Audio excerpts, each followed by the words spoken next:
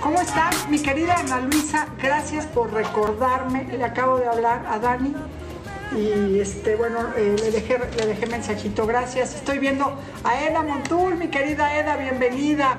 Qué gusto me da verte. El igual. Saludos, besos también para Fer. Tania, Juan Cristos, qué gusto me da. para TAP. Bueno, ya saben el invitado que vamos a tener hoy. Aquí también está María Martínez, Jocelyn Vivian, Luis 9391. Se están uniendo a esta transmisión que va a ser sumamente especial. Aparte de que lo quiero mucho este chamaco, dicen que los periodistas no debemos de ser fans de los artistas, que siempre debe haber una línea pues de periodista a artista famoso, pero la verdad es que este chamaco es un estuche de monerías. Ana Vigueras, mucho gusto, saludos, nos está diciendo. Y Astrid también, buenas tardes, mi querida Astrid. Giovanni también, también nos están, mira, saludando desde Hawái, qué gusto me da. También desde Culiacán, Sinaloa. Besos, Jazz, qué bonito Culiacán. También Gonzalo se está conectando con nosotros. Saludos, saludos. Va a ser una, tarde muy especial. La verdad es que van a ver ustedes, les prometo que nos las vamos a pasar muy a gusto, porque tengo la oportunidad de conocer este chamaco desde hace muchos años. La verdad es que he tenido la fortuna, porque es en verdad una fortuna, haber trabajado con él en un programa, no sé si ustedes se recuerden, México Baila. Bueno, pues yo trabajé con él, yo era parte del jurado y mi querido Lambda García pues era, era parte del elenco y bailaba como nadie. Nos está saludando también King, se, está, se acaba de unir. Desde el Nuevo Laredo, Luis, saludos, gracias por conectarte con, con nosotros. Y bueno, Lambda García se está uniendo con nosotros y en este momento, bueno, pues ya vamos a aceptar su solicitud. 3, 2, en la pantalla, en esta pantalla maravillosa del Instagram, vamos a a tener a un muchacho guapo que se llama Lambda.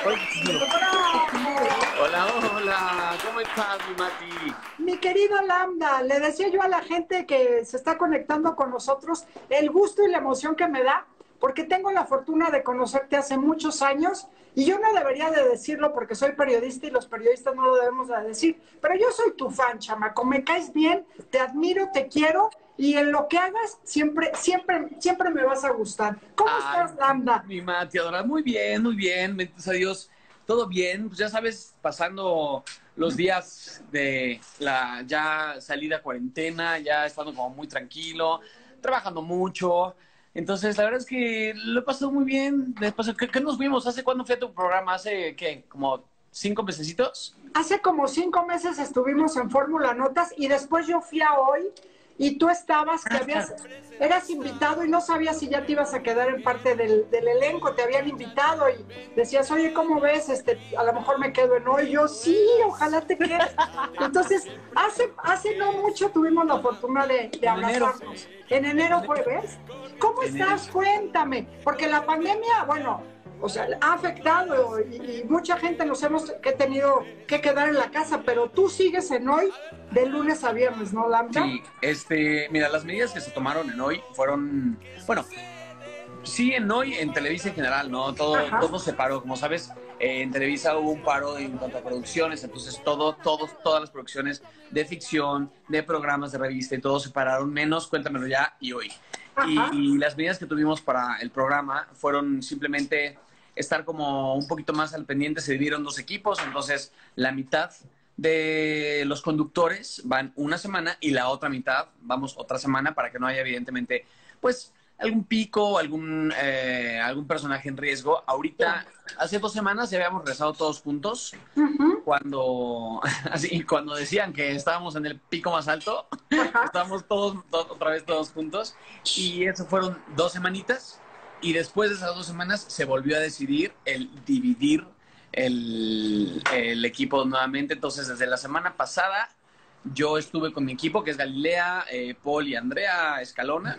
Y esta semana a mí me toca descansar, que es descansar entre comillas, porque estamos haciendo notas desde casa y haciendo como cositas en casa. Y los demás, que es el otro equipo, ya están haciendo su labor en el programa a partir del lunes, o sea, de ayer. Importante que lo digas, ahorita estaba diciendo la gente, ¿por qué no te hemos visto esta semana, Lambda? tú eres del equipo de Gali, entonces... Bueno, eso está, está muy bien, no te dejamos de ver en la pantalla, pero bueno, toma las debidas precauciones porque está feo, Lambda. Mira, al final de cuentas se agradece, o sea, se agradece que la empresa nos tome en cuenta de esa forma, ¿no? Que, que sí se preocupe por sus trabajadores, porque también el equipo de producción se va rotando un poquito. A lo mejor no todos van rotando, porque es difícil encontrar otro equipo de producción para otra semana, entonces se van como descansando algunas eh, cabezas de producción. Y pues nosotros, al final de cuentas, pues quieras o no, pues también está chido que podamos de menos, por ejemplo, me acuerdo que con el primer pico de la pandemia, a todos nos descansaron 15 días, ¿no? Para 15 días que fueron los, programas que estuvimos grabados, que la gente sabía que estábamos medio grabadillos, este, justamente para no tener como broncas de eso, para no tener eh, algún problema o alguna... Eh, un riesgo, ¿no? algún riesgo y si teníamos el riesgo, si teníamos alguno de los síntomas de lo que está sucediendo, pues se tomarán tus 15 días para la incubación y saber si lo estás haciendo o no. Entonces, quieras o no, está padre que se tome en cuenta la gente y está padre que se tomen acciones sanitarias, ¿no? Porque como dices tú ahorita, está horrible la situación. Está, horrible. Personas cercanas a ti que conozcas, que se hayan contagiado, porque todos ya tenemos a alguien que sabemos, el primo del amigo, pero, pero ya, o sea, esto, esto, esto es una epidemia, ¿no? Mira, bendito sea el Señor, yo no tengo eh, de mis círculos cercanos, de mi primer círculo, pon tú, no tengo nadie.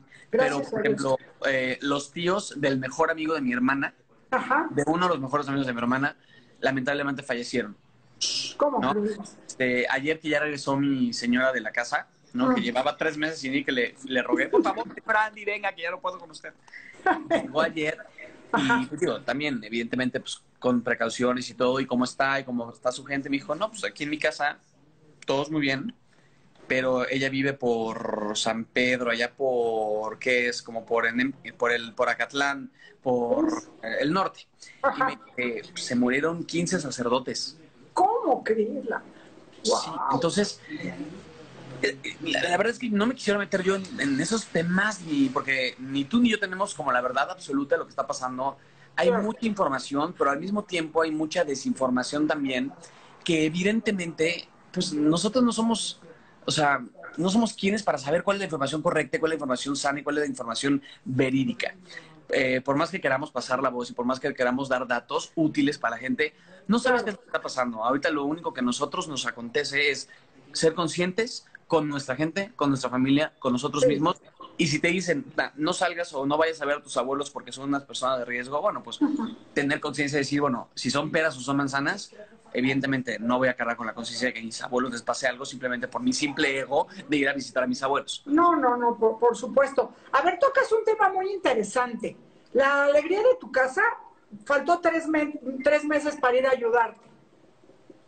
¿Qué hiciste en tres meses, Lambda García? ¿Cómo te, cómo te lo solucionaste? Cuéntame. Había, Mati, había una capa de tierra de este tamaño en cada mueble de mi casa. ¿Cómo crees, Lambda? no, la verdad es que eh, tengo una familia bien bonita y entonces los domingos le hablaba a mi mamá y a mi hermana y les decía, les doy 500 pesos si me vienen a ayudar. y iban y les pagaba. ¡Guau! ¡Qué encanto! Entonces, eh, a ver, es que sí, es bien cansado. O sea, uno no se da cuenta de lo cansado que es hacer algo hasta que no lo haces. No, uno sabe que es cansado cocinar hasta que no estás en pandemia cocinando todos los días. Uno no sabe que se ensucia la casa todos los días cuando no estás en la casa metido todos los días. Somos bien conchas. Somos bien conchas y somos bien uh, poco observadores de lo que pasa alrededor porque todo se nos soluciona bien fácil. Oye, pero a ver, yo no te imagino tendiendo cama o cocinando sin, sin playera y, a ver, a ver, o sea, ya sabes que la imaginación nos vuela y con ese cuerpazo nos vuela aún más. Te imagino en la mañana haciendo una frutita, haciéndote un jugo de naranja en boxers, así como... Completamente, mira, así soy yo, así soy yo. Bueno, oye, las vecinas han de querer volver a, ver, abrir ventanas, Es muy chistoso porque sí, sí tengo vecinos de enfrentito, o sea, vecinos, vecinas y todo, y es muy chistoso. ¿Qué hubo? porque pues sí, se ve. O sea, la otra vez me pasó que justamente estaba en un haciendo un live con eh, este Ricardo Peralta, nos ubicas este torpecillo que es un Instagram increíble. Y ah. estábamos en el live y la dinámica del live era, ya estábamos medio chupando en el live y era un póker de, un maratón de prendas. Entonces yo terminé literal en pelotas, ¿no? no se vio nada evidentemente aquí en Instagram, pero estaba en pelotas. Entonces en lo que me estaba quitando el chón de, ah, sí, el live y eso, tengo un vecino enfrente que yo tenía la ventana abierta y estaba la luz prendida. Y entonces, evidentemente, pues, se veía por ahí algo. O sea, tenía palco el vecino. Pues mira, me vio, yo no sé con la, imagínate el cuadro de ver a tu vecino enfrente con un, un halo de luz hacia la cámara, las ventanas abiertas, el vecino desnudo, viendo, o sea, yo creo que fue dantesco para el vecino, pero estuvo chistoso. Pues mira, dantesco e inolvidable, eso sí te lo puedo asegurar. A ti, inolvidable, como decía la Jenny Rivera. ¿Sabes tender camas? ¿Sabes poner la ropa en la lavadora? ¿Sabrás planchar una camisa? Todo. Sé Ay, no. Claro, claro. Coser también, claro. Lambda. A mí mi madre me hizo útil para cualquier cosa. Mi mamá me enseñó y sé planchar, almidonar, este, coser eh, y coser de diferentes formas y hacer una bastilla, porque, mira, creo que eso no tiene nada que ver si eres ama de casa o si eres niño, si eres niña o si eres hombre o mujer. El sentirte útil y el poder solucionar tus cosas y decir, oigan, ok, no tengo un sastre aquí o no tengo una esposa o no tengo lo que sea Ajá. Tienes tú tus cosas, chavos. Y al final de cuentas, tú eres, a ver, tienes dos manos, tienes eh, eh, dos pies, tienes. Sí, sí, sí, tú quieras. Entonces, benditos a Dios, mi mamá no me hizo nada inútil, mi papá tampoco, entonces estoy. Sí te puedo solucionar alguna que otra cosilla. Y si yo te pidiera que me hicieras algo de comer, ¿qué, qué sería lo estelar, lo más rico que cocina Lambda García? me puedo jactar de que soy de esas personas que te hacen de comer con lo que tienen en la alacena. O sea, literal, llegas y es de, bueno, a ver qué hay. No, pues tengo un puré de tomate y tengo, pues, ay, unos camarones y tengo cilantro, tengo perejil y ay, tengo un limón de, por ejemplo, hoy estaba en la casa y yo mañana salgo de viaje, ¿no? Mm. Entonces dije, pues también tengo que acabar lo que sea que hay en el refri. Ajá. ¿qué tengo? Entonces abrí el cajón de las verduras y había, no te miento, Mati, cinco o seis tomates verdes, pero ya tomates pachichis, uno medio mo, uno negro. Y dije, bueno, a ver, vamos a ver si los puedo salvar. Entonces que dije, bueno, pues ya. Eso tenía un pedazo de cebolla que había, me habían mandado del, había, digo, cebolla picadita de los tacos que había pedido hace como una semana. Dije, bueno, me echo la cebolla, hago los tomates, tenía cilantro también medio ya del nabo que utilicé para hacer un salpicón hice una salsa verde que te mueres, entonces a la salsa verde al ratito me hago ya unas tostaditas o me hago ya al rato unos chilaquiles o me hago, ¿sabes? Como que se soluciona. Vamos a hacer una pausa y regresamos aquí a Fórmula Notas. No le cambie porque viene lo mejor.